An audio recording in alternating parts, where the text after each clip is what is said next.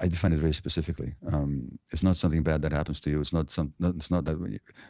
You, know, I went to this movie last night and I was traumatized. No, you weren't. You were just sad or you were, had some emotional pain, but you weren't traumatized.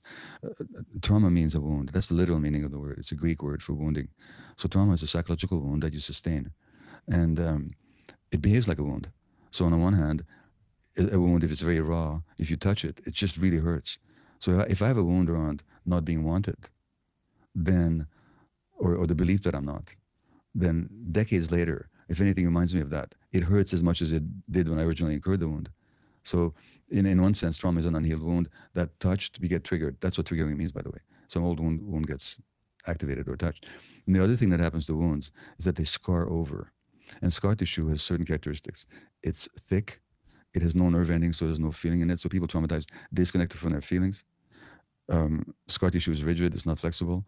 So we lose kind of response flexibility. So when something happens, we tend to react in typical, stereotypical, predictable, dysfunctional ways because of the rigidity. And scar tissue doesn't grow like healthy flesh. So people who are traumatized tend to be stuck in emotional states that characterized their development when they were traumatized. So when somebody says to you, "Don't be such a baby," uh, it doesn't sound very pleasant, but there's some truth to it. It means that you're probably reacting according to the lines of some wound that you sustained as an infant, and now you're you're reacting as if that wound was happening all over again. This is what one of my friends in the trauma world, Peter Levine, calls the tyranny of the past. So something happens in the present, and we react as if we're back there in the past when this first happened.